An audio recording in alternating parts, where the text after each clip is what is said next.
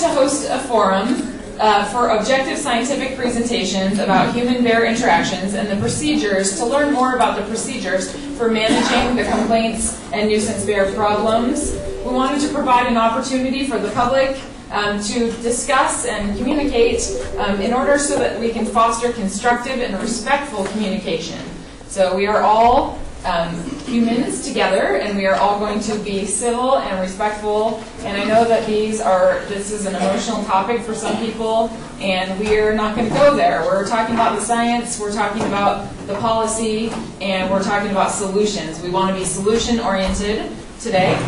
Um, the structure of the meeting: we are going to have um, several different. Um, uh, presenters, and they have a limited time for each of their presentations. And mine is supposed to be five minutes or less, so we'll see how I do. and then, um, and some presentations are PowerPoint, some are not. Not everyone was required to bring a PowerPoint. Um, we are going to try to stay on agenda. We have about an hour uh, and a little less than an hour and a half of actual presentations, and then we have a half hour for questions and answers. Um, Andy Wyman is going to be our moderator, and we are going to try to keep, he can tell us the rules of those, but we're going to try to keep it to like a one minute question with a three minute response maximum so that we can get the most questions and answers. And Andy is a 10 year resident of Incline Village. Uh, he's a medical doctor who studied at Stanford. He hosts the Sierra Nevada College Fireside Chat, so he's used to hosting these community events and he's active in the community. So, and he also has mentioned that he is very neutral in this topic, and so I think he'll be a good facilitator for us. Um, so, starting with the first presentation is Commissioner David McNinch from the NDOW mission, and I'm not sure if I'm saying all of that correctly, so we'll just go ahead and invite David up. So let's welcome him.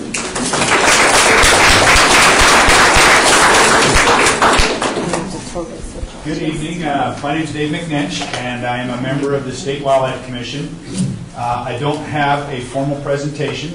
Um, I don't want to. Uh, if you've been to any of our meetings, you can know that they, they can go on for days and days and days and days and days. Uh, so I don't have a formal presentation, but what I would like to do in the couple minutes that I have here is to kind of explain to you how um, how our Wildlife Commission is set up in the state of Nevada.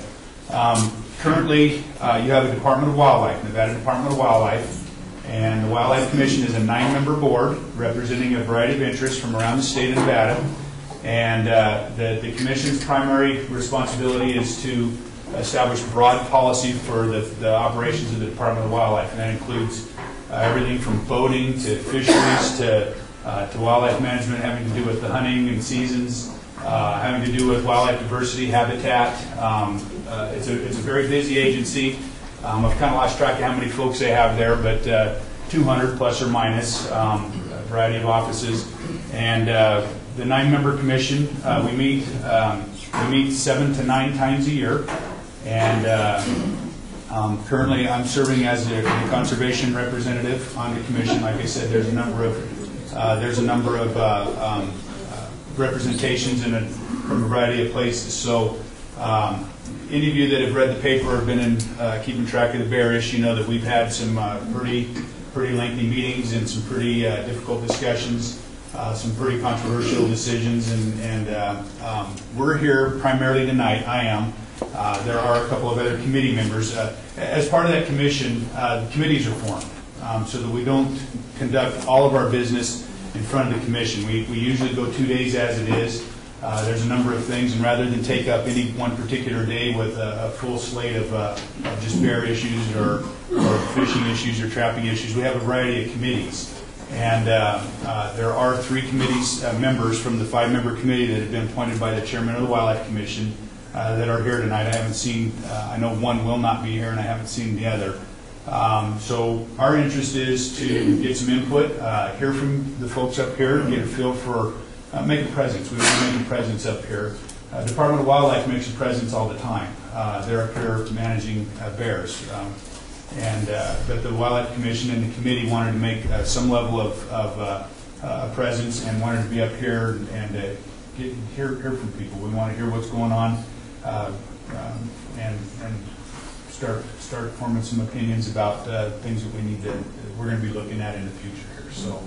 Um, with that, um, I'm sure there'll be some questions and answers later, later on, but uh, with that, we're glad to be here, and thank you. All right. Thank you. I'm going to cover at this time just a little bit of bear basics. Many people in the audience are probably very familiar with bears, but we wanted to make sure that everybody was at least on the same page on some of the some of the items. Um, here in Nevada and in California, we're dealing with Ursus americanus. It's your basic American black bear. Um, we do not have grizzly bears here, which are a brown bear species. Um, the bears in Nevada and California move around. They don't stay on one side uh, of a state line or the other. Um, even though they're black bears, you're probably going to see mainly a brown bear. Most of them have some shade of brown. They come in every range of color from uh, brown to black to blonde. Um, the bear population estimate in Nevada is provided by NDOW and on their website. In the past, they had listed two to 300 bears in 2008, and the most recent update that's presented on their website is three to 400 bears. In California, as you can see from the numbers, there are a lot more bears running around in the state of California. What are these bears? Um, the black bear, the males are bigger than the females.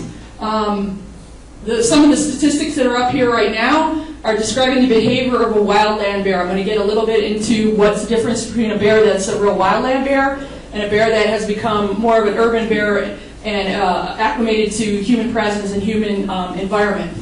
So they live a pretty long time. They like to live in the mountains. They have been seen crossing the desert and in the desert, but they really do like our, our scrubland, our foothills, and our mountain environment. Um, if they're a wild bear, they should be cruising around at night rather than during the day. The bears are usually solitary, except when there's a mother and a cub. And a, a cub can stay with a mother through the, about a year and a half to two years as a yearling. Um, they're very good climbers. They may look slow when they're walking around, but they can run very fast. If they're a wild bear and their food source disappears in the winter, as it should, when all the plants and all the vegetation is gone, um, they should sleep for, they don't actually fully hibernate, but they should be dormant for a, quite a bit of period of time. If a bear is uh, able to get food in the winter, however, it will be up and it will be out. As many of you know, we have a lot of bear activity here in Incline, even in the winter. That's due to food availability and when we have a break in the storms, milder weather conditions. They've got bad eyesight, but they hear well and they smell even better. Not them themselves, what they smell, they can smell.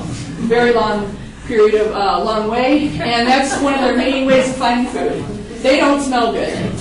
Um, a bear in the wild should be eating an omnivorous diet. It should be eating bugs. It should be eating grass. If there's fish, they're going to eat fish. If they find something laying there dead already, they're probably going to eat that.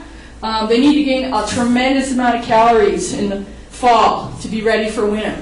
So that's why we see so much more activity with the bears coming into town and being very active in the fall. They've got to pack on the calories. They've got to almost double their weight to get through the winter if they're going to stay dormant through that winter time.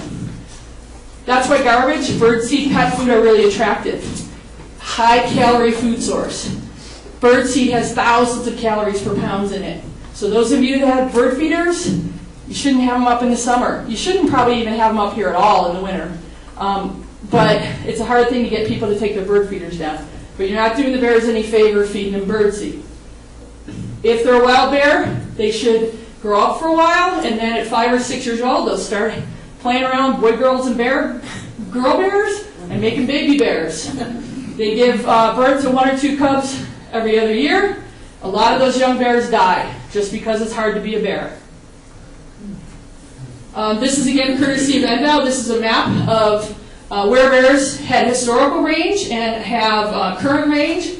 Um, as you can see, most of the bears uh, live very close to Lake Tahoe, although there are bears in other areas of the state. There's not much uh, on the east, but that was historical range and there have been sightings in the past. California, we're talking about a lot more bears over a lot more area. Um, basically, the Central Valley is one of the areas where you won't really have black bears. That was traditional grizzly bear habitat actually in the past. Um, but the black bears are all the way down to San Diego through the mountains, all the way through the Sierras, and in the coastal ranges as well. Okay, so those of you who've been in Incline for a while, there have always been bears here, but it sure seems like over the last seven to ten years we have seen a lot more bears. Some of that is attributed to uh, movement. it's not necessarily that there are more bears around, but the bears have moved and concentrated in basically the Lake Tahoe area. Um, a lot of that was response to uh, environmental conditions that had occurred over this period of time. We've had some really bad droughts off and on over the last 10 years. We've had more development in the foothills. Um, we've had loss of natural forests, especially related to uh, those droughts, and removal of traditional bear habitat. Um, this map is again from NDOW, and uh, the blue rings represent where bears are in the backcountry and where they spend most of their time. Um, it's almost like we have two kinds of bears now. We have wild bears and we have urban bears. And as you can see, the red label for the urban bears, it's concentrated all up and down the east shore, and then down like the uh, Minden-Gardnerville area, a little south of us. There, the urban bears are responding to food that we are giving them in our communities. This is a great graphic that High Country News featured a couple of years ago. Um, they basically compare some of the uh, characteristics of a wild bear versus an urban bear.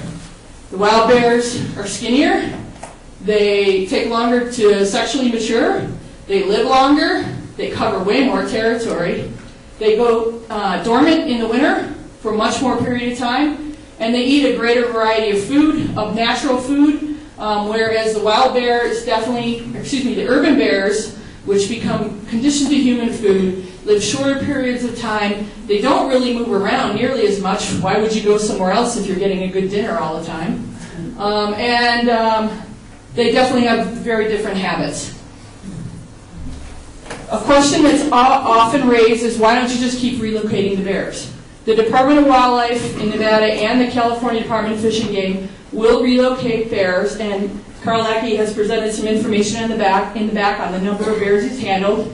They will um, handle bears for research needs um, and to deal uh, with a nuisance bear in certain situations. But the research that's presented nationally and internationally is relocation is very challenging and necess- doesn't necessarily work. I lived in Sequoia National Park for a season, and they re- re- really relocated a mother bear 500 miles over Mount Whitney, and the bear came back in a month to Sequoia National Park. So the bears want to come back. They want to come back, and they sometimes make it back, and a lot of times they get killed on the way coming back. Um, some of the other reasons why relocation is not the one and all answer for uh, bear management is once a bear does become used to kind of being around people and getting food, um, it's it's kind of hard to just tell that bear go back to being a wild bear. Don't do that anymore. Um, conditioning is conditioning. So if a bear doesn't learn these habits in the beginning, the bear has a much better chance of surviving and not becoming um, a statistic. So um, relocation sounds great to the public and to everybody, and we'd all like to just keep moving the bears around, but they come back, they get in trouble other places, it's very expensive, and you haven't solved the problem in the first place. You've got to get rid of attractants if you don't want bears in the community. Um, if you have trash that's out and you move a bear, another bear is going to move in. They just they take each other's place in the environment. If there's a bear that dies or a bear that's moved, another bear moves in. Okay, so what I'd like to talk about in the next, I only have two more slides right now, and then you get to see me again a little later. But one of the things I'd like to bring to the audience here is we are not alone in trying to deal with a non-lethal, um, better way to do bear management. There are many communities nationally and internationally that deal with bears. Some of them deal with grizzly bears. I'm pretty glad we don't have to deal with grizzly bears because that's a whole nother level of, uh, it's a much different creature than an American black bear. Um, some examples of communities that are um, follow Bear Smart principles are Whistler, British Columbia. They're the leaders. They have a tremendous website called bearsmart.com. They present um, a ton of information on how people can live with bears, how uh, communities can deal with living with bears. Some other excellent models, Mammoth Lakes, California, just to the south of us, Durango, Colorado. Colorado is really taking a strong lead on this. Several communities in Colorado have excellent bear awareness programs. Everybody still has problems in their programs. There's somebody's doing trash management better. Somebody's doing um, education better. Somebody's got a bear, somebody on staff who can run bears around while they're in town. But these communities all have different models, and they all have different uh, levels of success, but they're mainly seen as leaders in uh, kind of a progressive bear management um, options. You don't, Bear Smart doesn't just happen. Everybody has to work pretty hard at this, including uh, planning agencies, um, over, regulatory agencies with oversight, and community members. So this Bear Smart thing has six main points that you try to address. And some of the ones we've addressed pretty well here in our community, and some of them, um, these are sparking ideas for us on things we can do so that we're doing bear management better. But these are kind of the universal principles coming from that Bear Smart model. First, prepare a hazard map, an assessment map of your community and the area. So we all kind of have- a pretty good idea here of where the bears run around. They run up and down 28. They're hiding behind the petas. Um, we don't have this formalized. This may be this may be a very easy thing for us to work on, creating priority zones. Where where should bears not be tolerated at all? The commercial corridor is a really bad place for the bear. Now, a bear up in my neighborhood on Upper Tyner, well, maybe that bear just came in from the woods and it's got a whole different level of hazard being up there than down below. So this is one of the, the, the number one is one of the key items we don't have done in our community, and we're going to be pretty much working on that. Number two and three, uh, number two, the Nevada Department of Wildlife released a bear management plan this spring. Uh, it's available on their website. Um, the Bear Committee and some other members of the community. That plan was laid out. There's going to be, I hope, input on that plan, uh, but it is formalized and it's available for your view. There's a copy outside um, on the table. Um, number three requires all number one and number two be done, so I'm going to skip number three because we're not there yet. Number four, bear awareness education. One of the most important things you guys can do is talk to everybody else you know about bears. Um, because one of the best ways in this community to reach our neighbors is for a neighbor to talk to them. IVGID Waste Not provides a lot of education in the community. The Department of Wildlife has a, a website and some information, and they do their bear awareness um, for out of the state, out of NDOW. Um, but here in Incline Village, uh, Waste Not is one of your community resources, and I have brand new bear awareness brochures out there. I have them in Spanish. We have a trash hotline card. We have a variety of things we're working on so that the education can go out. So people understand that garbage is the number one attractant, that food is the number one reason why the bears are here, um, and how to how do you deal with the garbage? Well, we can help you with the education on that and finding out how to store your trash, um, and we provide some services on that too. Number five and number six are the final points. Number five is another thing that it IVGID's worked pretty hard on. We're going to continue to work on it. There's always ways to improve what we do. And that's to develop a bear-proof municipal solid waste system. We've got bear-proof dumpsters. They're pretty much also human-proof on some levels. A lot of the problems, a lot of the problems we see in the community are when somebody doesn't take the time to lock the dumpster, or their dumpster, the latch isn't working right, and they didn't bother to call it in to get it repaired.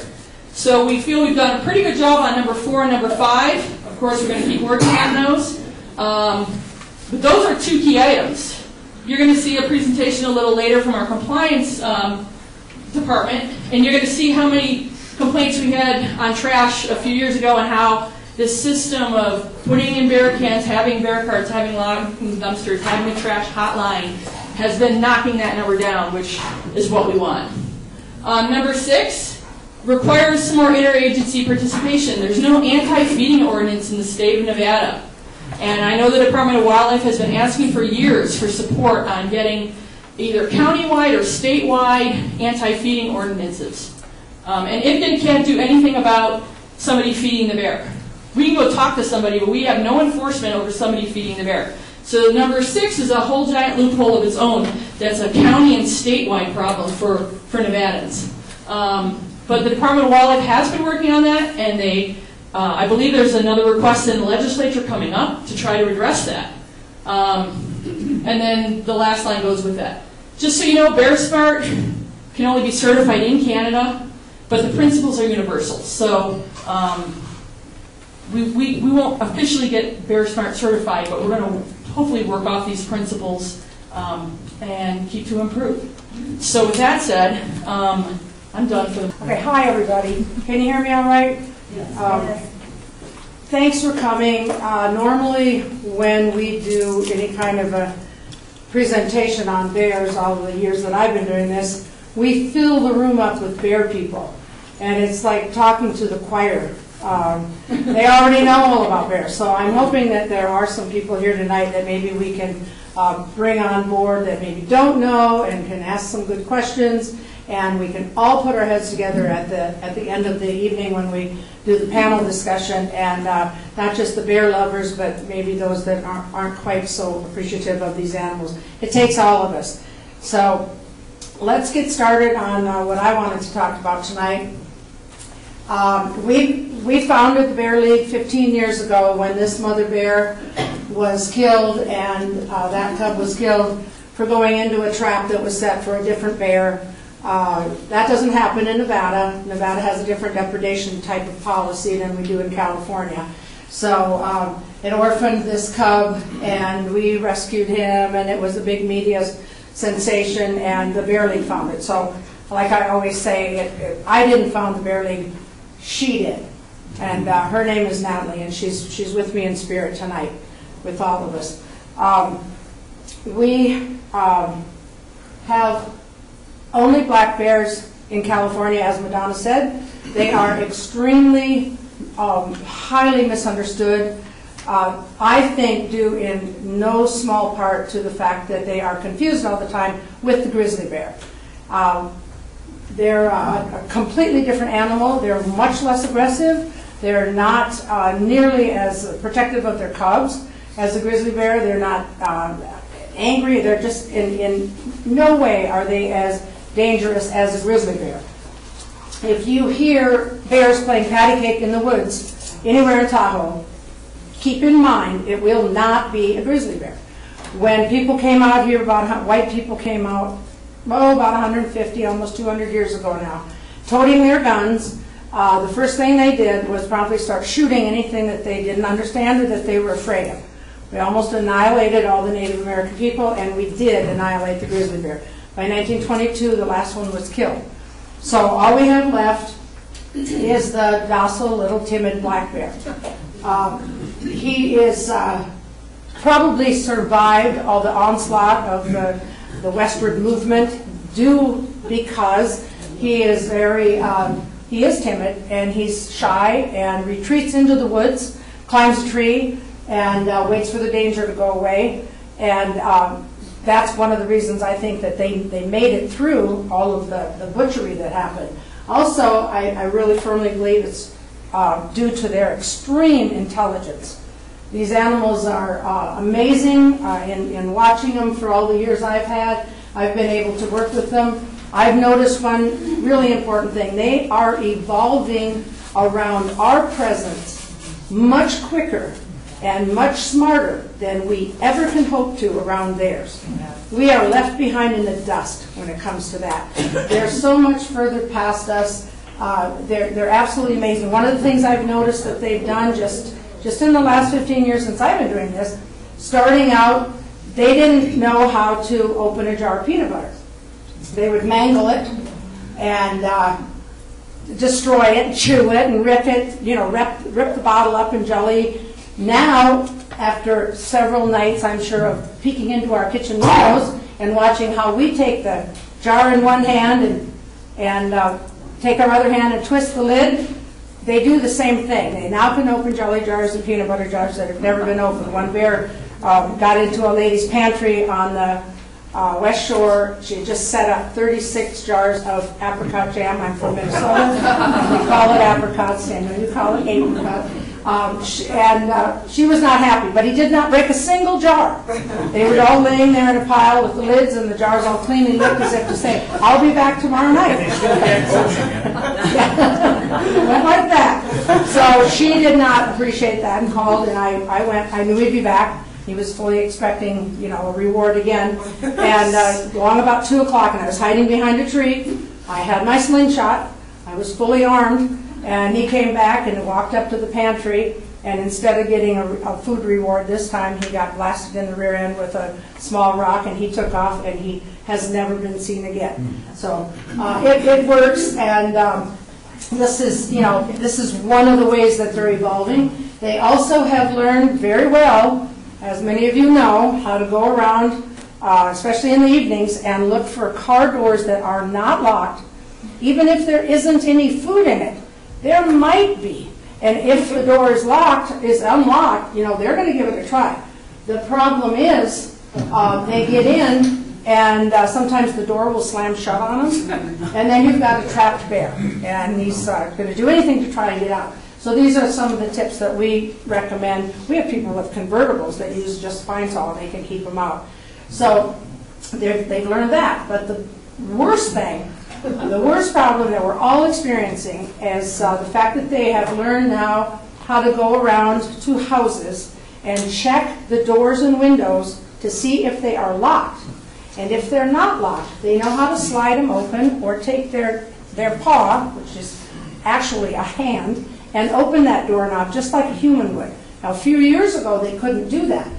But now they can go from house to house, and I think they, they met in the woods one night and they decided, let's, let's try this. This just might pay off. And so they have been doing it. And they'll go in, if there's a bowl of fruit on the counter or a plant or whatever, okay, it's theirs. If they can smell it and they can get at it, it's theirs. That's the rule. So they're going in and they're finding food. We get probably 25 calls a day on our hotline, which we answer 24/7, um, on bears that entered into homes with open doors or windows. Um, We had one mama bear that did this uh, in uh, Sunnyside not too long ago. She went in through an open window during the night. The man was down the hall uh, in the bed, and he heard noises, and he thought it was his unruly neighbor raiding his refrigerator, so he got up and he peeked out the door, and instead of seeing the neighbor, he sees a great big bear sitting in front of his refrigerator, the light from the refrigerator shining upon her as she reached in and picked through the things that she wanted and threw aside the things she didn't want. And the cubs, who uh, probably weren't in the partying mood yet, were laying over on the couch, sound asleep. Well, he cowered back in the house and, and, and or into his bedroom and called us, and we went racing down there and um, saw, you know, what was going on and chased her out. And uh, after we left, we real or after she left, we saw that she'd been sitting right by the, uh, the dining room table where his computer, his laptop was, and there were paw prints on the screen and on the keyboard. And, and uh, to, this, to this day, we're not sure whether she was doing any online dating or possibly checking her her investments, but uh, she did run off. Another another bear. This guy um, went into an open window at a person's house on the North Shore, not too far from here, and the neighbor called us, just laughing uproariously, uproariously, and said, "You should have seen this." He just crawled right into that window. It was left open, and about three seconds later, that bear flew out of there. The house cat was chasing him. chased him up the tree, and the bear sat up there for hours whining because the cat had chased him away. So they're, they're easy to scare off, but they do make a mess.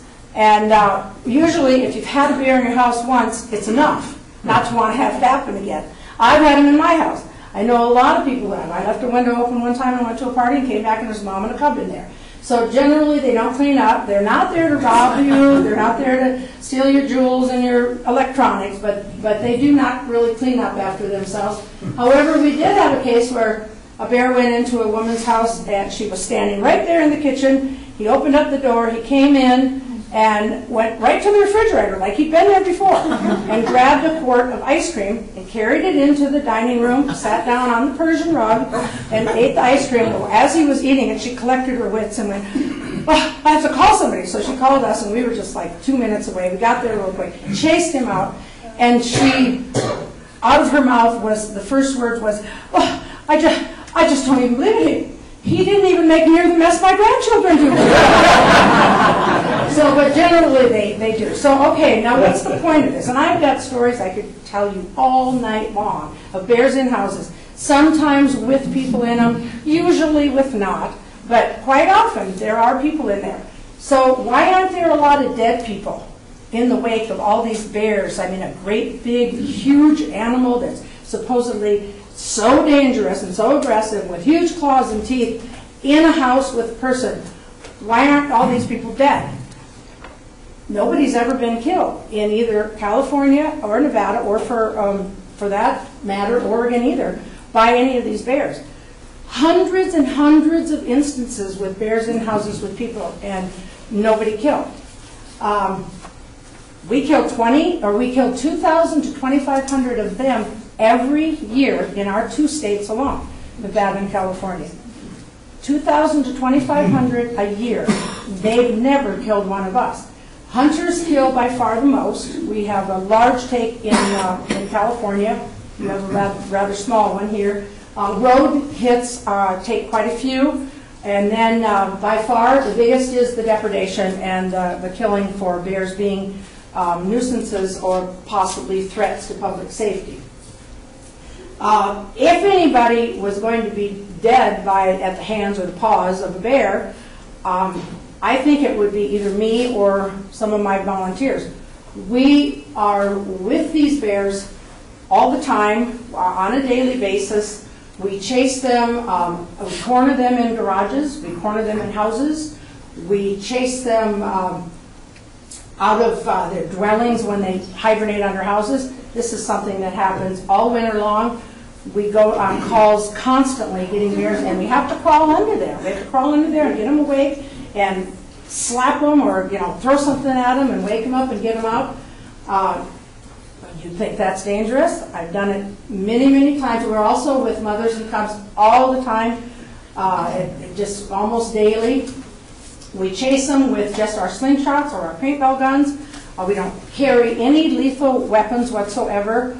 Um, they run off from us. They're scared of us. I mean, we yell, you know, we don't wimp out and go, go on, go on. We're, we're serious about it. But I'm not going to tell you we haven't been bluff charged. That's a whole other thing. We have been, and it's uh, extremely blustery. They come up right at you and boom.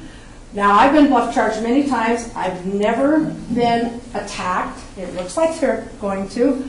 Um, sometimes they stir up the dust around me. Uh, one of them even spit on me one time. He got so close. But and all the times I've been charged, bluff charged by a bear, I've never been killed. Not even once. Why? Why is that? Because they're not dangerous. That is propaganda. That is nonsense. They are not. They're, they're submissive, timid. This, this bear is up on that roof. We're coming close to get a picture. He's looking at us. As we get even closer, he drops his head down, which is a sign of extreme submission, and his nose is running because he's crying. He's afraid. He wants us to back away. When they, and this what this is what they instead do. They, they will run. They're not, they're not going to attack, and especially if you stand up to them and if you can understand them. You've got to be able to understand what they're saying. One, there was one woman I felt so sorry for. She had just bought a house on the North Shore, and she was all excited about moving into Tahoe, and all of a sudden she called me one day and she said, I have to sell my house unless you can help me. My neighbors just told me there's bears in Tahoe. I said, yeah, you didn't know that? And she said, no, and I'm absolutely terrified, and I can't live here unless you can help me. So we tried to talk to her. I talked to her. She called every day. I tried to take her on some calls with me. She had never seen one, but she was still just so terrified of it that she was ready to sell her house and, and leave the area, which I thought was a shame. She's a really nice lady. We like nice people here.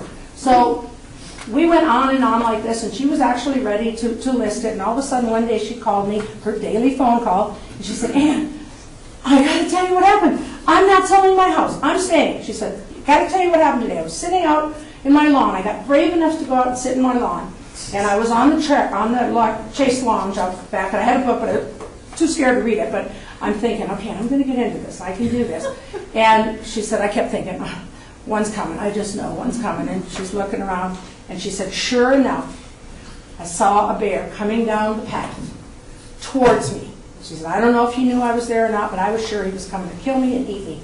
And she said, I, I just sat there frozen in fear. I couldn't even move. And all of a sudden, from one side of the path, just about a foot in front of the bear, ran a little chipmunk. And she saw this. And the bear leaped into the air, made a 180, and flew back the other way, scared to death of the chipmunk. So this woman no longer was fearful of bears. But people are. People are, and that's what sabotages our ability to act appropriately when we meet a bear. This picture was taken by a woman who loved the bears, but she was afraid. But she put food out on her deck, and she actually was, you know, enjoying having them come up. Well, one day she had the slider open, and she was in the kitchen a little ways. There was gold pineapples on the on the counter, and the bear smelled that. Like Madonna said, they they can smell real. They can smell good. They don't smell good. they can smell. Anyway, so he came and approached. He's walking up closer to, to get that pineapple, and she freaked out and instead of going, no, and stomping her feet and lifting up her arms and like, get out of here, she ran up the stairs and hid under the bed. So, of course, the bear came in and uh, got all the pineapple and came back every day. But the problem that, that we see with that is that people are being told in many different ways and from many different sources that they need to be afraid of bears. That is destroying our ability to act and react appropriately when we meet a bear, when we encounter a bear, when a bear comes into our yard or onto our deck. If we're fearful, we are going to tell that bear, I'm submissive, I'm going to go hide in the closet, you can have the keys to the car, to the house, you can take everything out of the refrigerator, I'm out of here. We don't want to tell them that. We're losing the battle by telling them that. We have to stand up to them and tell them, no, I'm the dominant animal here. This is my property. You can't be here. Now get out. They will run off. There's two tricks that you have to remember. No food. This is real easy. If you take anything home tonight and be mean, not out in the wilderness, that's different. We're not talking about that tonight. We're talking about bears in the community and problems with bears right underfoot of people. No food and be mean. But in order to do that, you have to understand these animals and you have to be able to treat them appropriately when they come around. It's not fair to lure them in either with your ignorance, your unwillingness to learn about them, or your love of them. By luring them, this bear got an apple from one resident every single day at noon. She thought it was cute. He came, got his apple, and she went on vacation after about two months of that. So he goes to the neighbor's house to get his apple, and he shot him. He's dead now. That woman killed him with kindness, killed him with love. That is not fair. Any more fair uh, than it is to put your garbage out, or any more fair than it is to run and hide upstairs in the, in the bathroom while you hope that he goes away. It's all the same thing. This is a video that isn't going to play because I found out I didn't load it right, but what it is, it's a quick video clip that someone sent me. They're all excited uh, because they'd seen a bear, but they're doing everything wrong. In it, you can hear the, the bear wanders around on the deck for a while, and he looks in the window, and he comes right up, and the guy is standing there taping this, and he's going, shh, shh, there's a bear on the deck. Look how cool that is. There's a bear on the deck. And the bear's walking around and feeling right at home, and everybody's being real quiet in the house. Nobody's stomping their feet. Nobody's banging on the window. Nobody's telling him to leave. Okay, so he's going to come back again, or he's going to go to someone else, someone else's house, and they're going to shoot him, or they're going to call him a nuisance because he's up on a deck. He hasn't been told that he can't be there. He's been told you're welcome here. So we have to remember that the bears have always been here. This is bear territory. They have always been here. Uh, for a while, they were a little more elusive, and they ran back into the forest, uh, and they hid out from us. Now they're getting braver, and they're coming around because it's worth it. They're getting rewarded. But they're here. They're not going away. No state agency would ever kill them all. They're assigned to protect them, to keep a healthy population of these animals. They are not, no matter how much you complain about it, or even if I changed my mind and said, I'm done with it, I can't deal with it anymore, I want them all gone. It's not going to happen. So they're here, and we're here, and we're in the same habitat together. So what we need to do is to try and understand how can we make this work, whether we like them or we don't like them? We're here together and we need to try and understand how they work and so that we can finally be the smart ones, which we haven't been.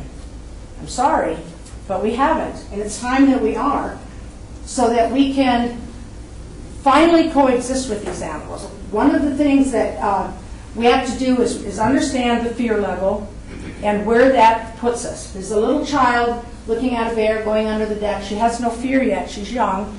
Um, and how long will it be before she reads things or watches scary movies or her big brother tells her there's a bear under her bed that's going to get her or she reads some propaganda about it uh, and, and she changes her mind and she's afraid.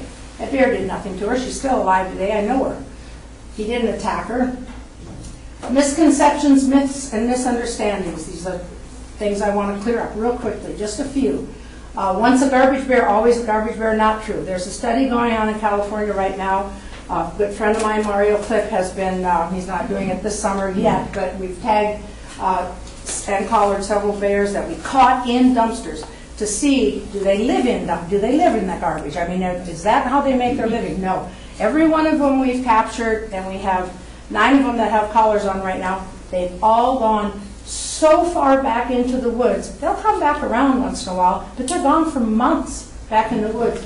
So once a garbage bear, not always a garbage bear. He's still a viable bear in a part of the population. Also, uh, bears are dangerous man-eating monsters. Not true. These are depictions on hunter-based magazines. They're drawings, they're not real. Bears can't do that. They can't even make their face look like. You have to be trained to do that, and then they get a cookie if they do it, like Bart the Bear, the movie star. Getting between a mom and cubs, getting anywhere near a mom and cubs means certain death. No. No black bear mother with cubs has ever killed a human being anywhere in North America at any time in history for being around her cubs. Bear, bears have killed people. Not out here in our three states, remember, but they have killed people, but never has it been a mother bear for someone getting near her cubs. Once a bear comes in a house, you're dead. No. Um, they, they come in and they wreck stuff, yes, but like I said, nobody's been killed, so that doesn't mean that the bear has to be destroyed. It means we need to lock up our houses. And Brian, or Ryan Welch is here tonight from uh, the Bear Busters, and he's a really good person to talk to about uh, possibly putting up some uh, electrical um, bear protection devices on your home to keep this from happening. This doesn't need to happen. This is not a good thing. Um, but basically, one thing I want you to remember is that everywhere, all around Tahoe, right in your neighborhood, right out behind your backyard, so at some point and at some time, there is a bear that is hiding behind a tree or waiting beside the dumpster or hanging out, waiting for you to mess up and do something stupid so that he scores. Because that's exactly what's happening. They are waiting for you to do something silly. Let's not do that.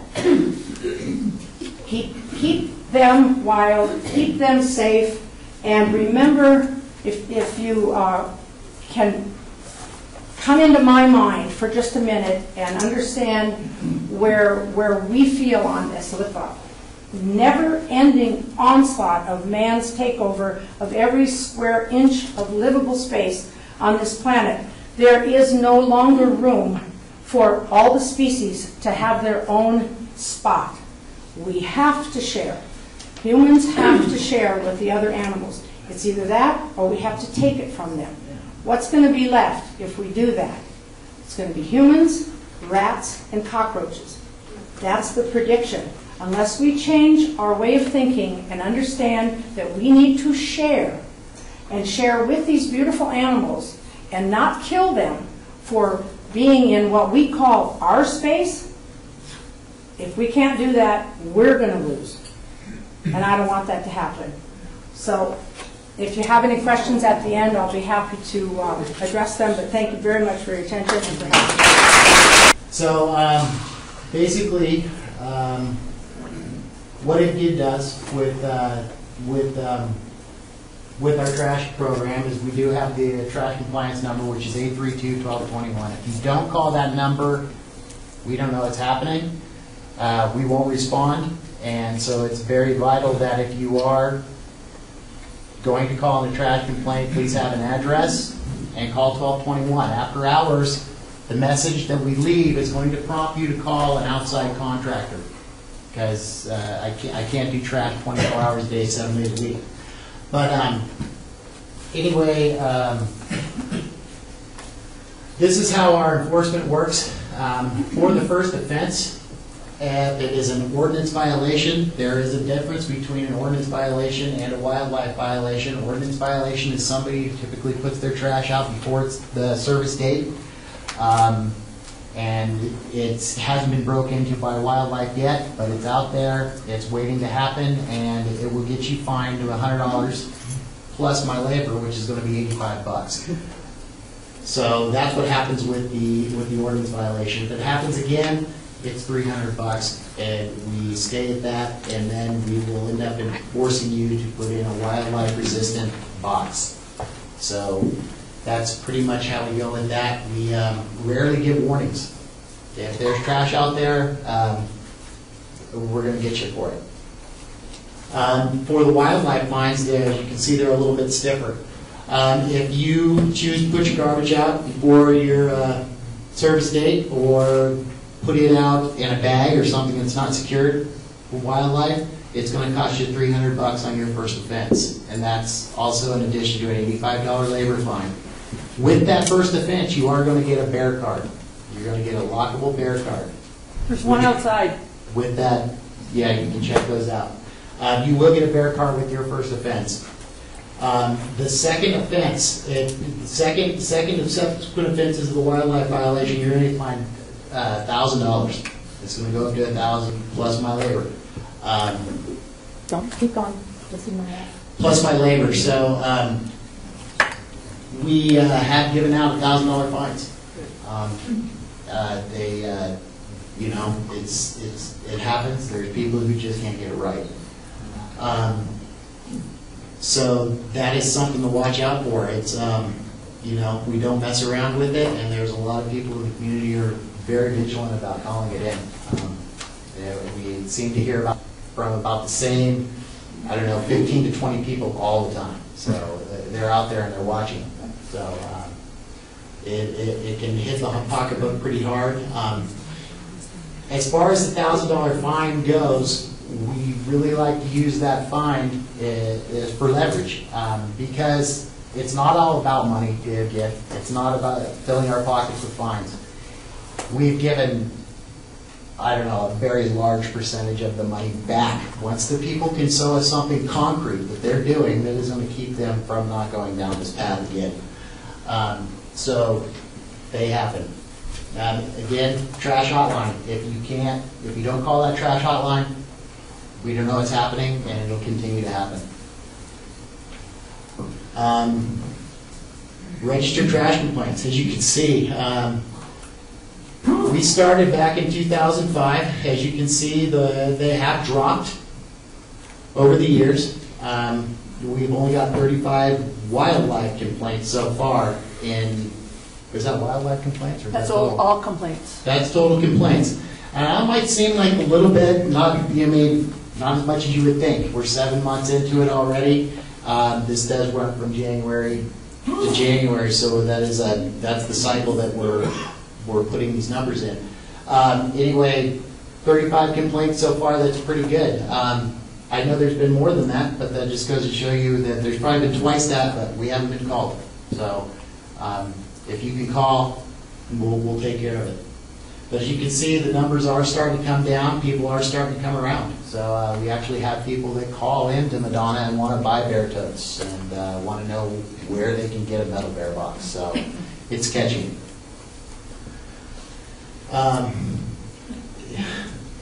This is what I see most of the time. Um, uh, Yeah, I'm a, I- I'm a water operator by trade, certified. I don't pick up garbage, but, uh, you know, uh, that's what they have me do during the day. That's what happens, but uh, yeah, it gets a little, it gets a little tiring after a while, as you can see. I'd rather be doing something else. Um, Dumpsters. I see this all the time. Um, It's right there in your face. There's a latch, there's a hasp, there's a staple. It takes two seconds to shut the dumpster and close it. It, it, it- it's really pretty easy. Um, I see empty dumpsters with uh, garbage on top, a lot of times. I see uh, bear-proof containers at residences with, that are empty, and garbage is literally sitting outside. So, that's, that's what we're dealing with most of the time. If you find one of these dumpsters that is unable to be unlocked or does not have the hasp and staple and carabiner type lock, please call Waste Not and uh, they'll address that.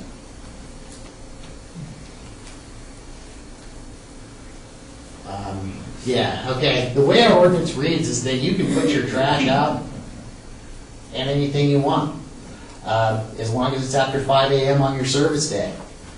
But service doesn't start till 7. So in that two hours, if you choose to put your trash outside, something that's not secured, uh, you you might get a visit from us or or the contractor, not a visit from us, but you get a letter.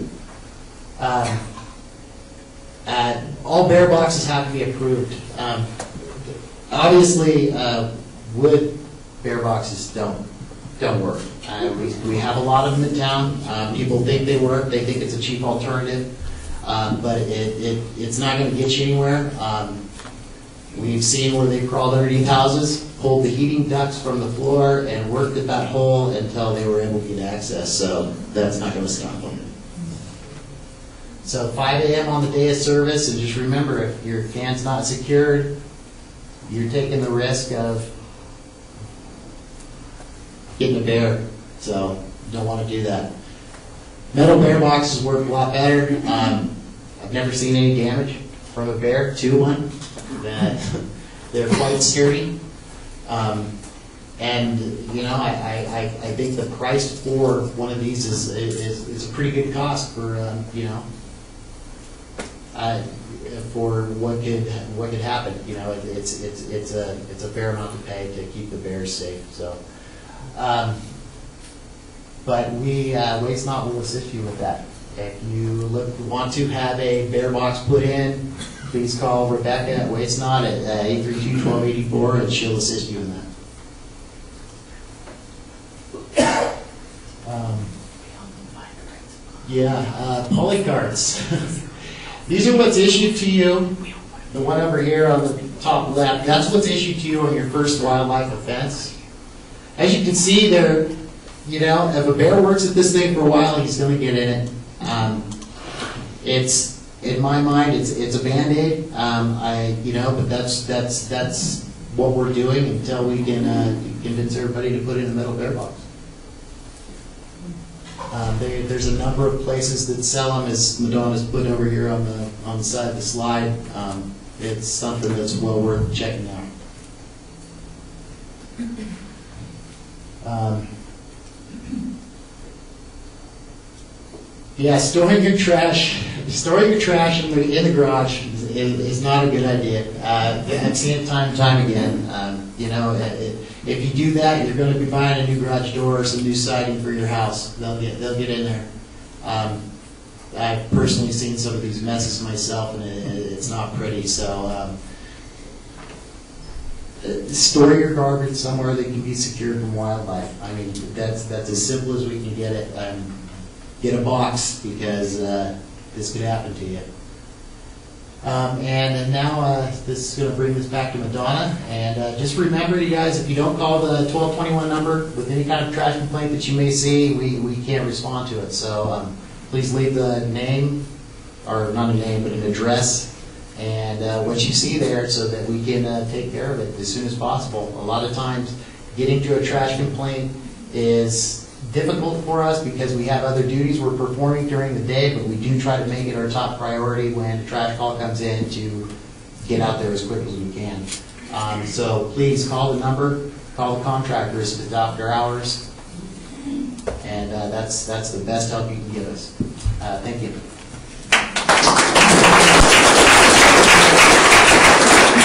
Gerald, Gerald, the compliance department and Waste Not work very closely together in Public Works. Um, So I just wanted to touch bases on the last couple of points here from IVGID. Um, My pet peeve, on the slide, if you have a garage and you keep food or trash in your garage, how many times have you left the door open? Not on purpose.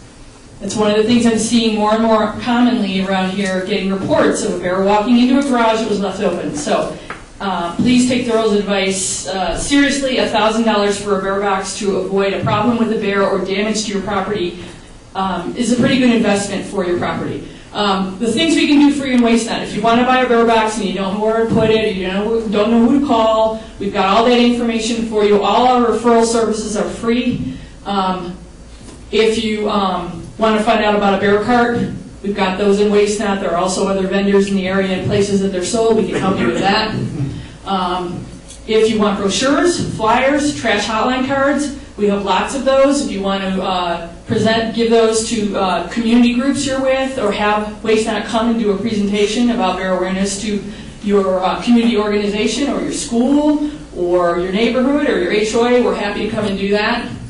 Um, Ryan from Bear Busters is here. Um, if you're having a problem with bear coming in, we've started uh, working with him a little bit on some electrifying of property. Um, we had a bear living under a house in incline under a deck, and over the winter, the homeowner worked with the Bear League and with Ryan to um, put hot wire under the deck.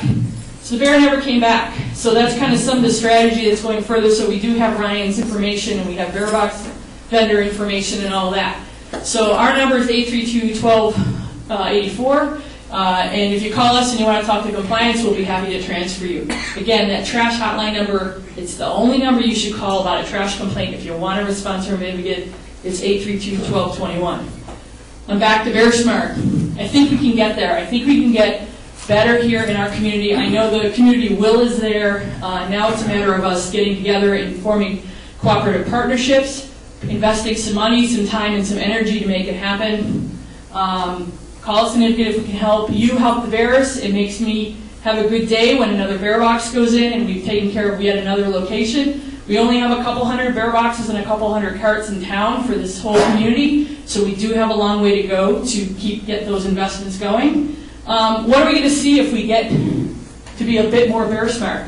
We're going to see uh, an economic benefit for our wildlife viewing, for our recreation. We don't have we have we have a black eye nationally over bear issues. It's always running up and down the west coast whenever a bear has to be killed, um, when bears are breaking in. So we've got some PR uh, damage control to do for our community, but I think we could turn it around and there's enough will and enough drive and enough uh, energy to try to make us a leader in this community. I'd like to put us on that Bear Smart community list. Um, so with your help, uh, thank you for your attention.